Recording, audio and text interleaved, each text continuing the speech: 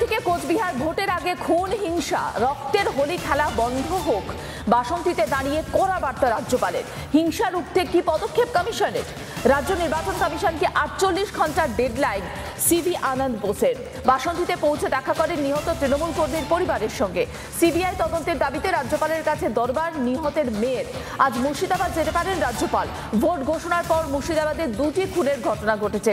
Vote ঘোষণার চব্বিশ ঘণ্টার মধ্যে মুর্শিদাবাদে খুনের ঘটনা ঘটেছে।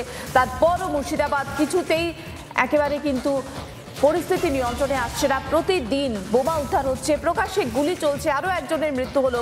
এ নিয়ে দুটি খুন। মুর্শিদাবাদের। এবং এই ঘটনাগুলোকে রাজ্যপাল একেবারে গুরুত্ব দিয়ে দেখছেন, নিজে পৌঁছে যাচ্ছেন। গতকাল আমরা যেমনটা দেখলাম যে কোচবিহার থেকে এসে সরাসরি পৌঁছে গেলেন বাসন্তীতে।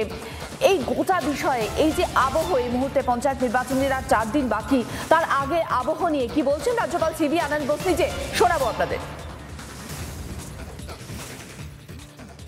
This political holy to the human blood has to end. My visit to the field has convinced me that there is violence in certain pockets in West Bengal. I saw murder, I saw intimidation, I saw heinous crimes heaped upon innocent people. I went and visited persons who were injured and also made arrangements for the medical treatment and tried to do some confidence building among the poor people. As a senior citizen with the experience of 45 years in public administration, I am convinced who are the gang leaders. That is also something which I will share with the competent authorities in confidence. I will wait for 48 hours. This is no ultimatum. We know election is a time bound affair. You know the date of election has already been announced.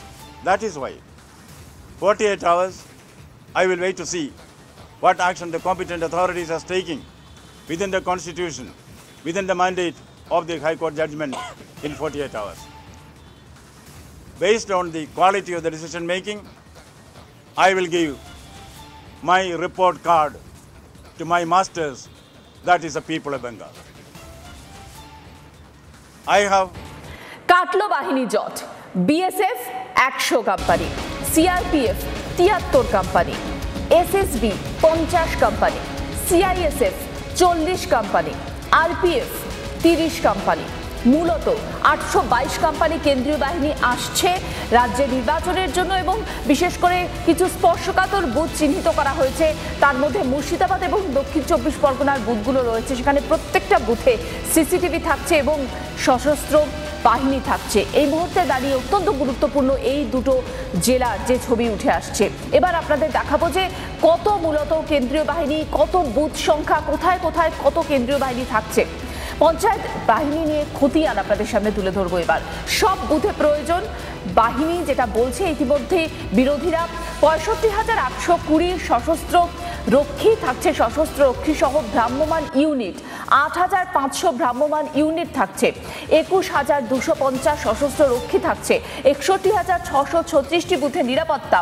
মোট vote কেন্দ্রের সংখ্যা চুয়াল্লিশ হাজার তিনশো বিরাশি। স্পর্শকাতর বুথের সংখ্যা চার হাজার আটশো চৌত্রিশ। প্রতি বুথে থাকছে সিসিটিভি। কেন্দ্রীয় সশস্ত্র বাহিনী ছশো ষাট কোম্পানি। ভিন রাজ্যের সশস্ত্র বাহিনী কোম্পানি থাকছে, রাজ্য পুলিশের সশস্ত্র বাহিনীও থাকছে। এমনটাই কিন্তু খবর পাচ্ছি আমরা রাজ্য নির্বাচন কমিশন সূত্রে। সুতরাং